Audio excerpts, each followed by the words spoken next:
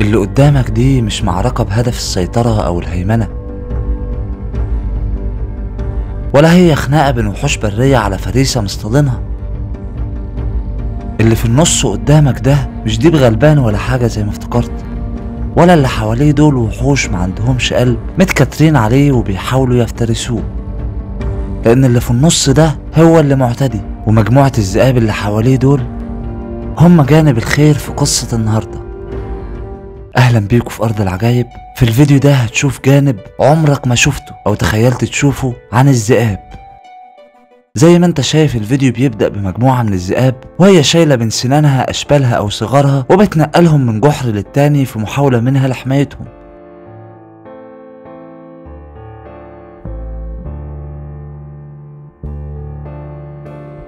عايز أقولك إن دي الطريقة اللي بتحمي بيها الذئاب أشبالها.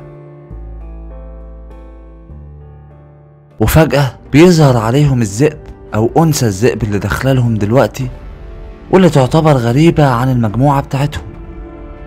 جاية وفي نيتها هدف واحد. الذئاب البالغين؟ لأ الأشبال الصغيرة. بتبدأ المعركة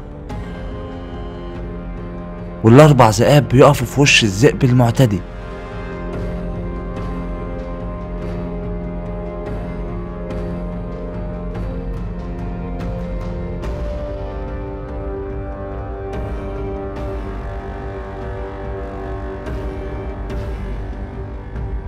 استماتة حقيقية بنشوفها في الفيديو من الذئاب وهي بتحاول تحمي أشبالها.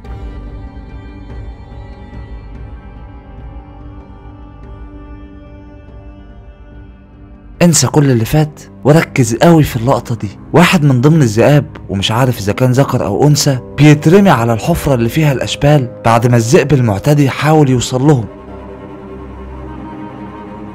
لا بيترمي بجد بيقفل الحفرة بجسمه.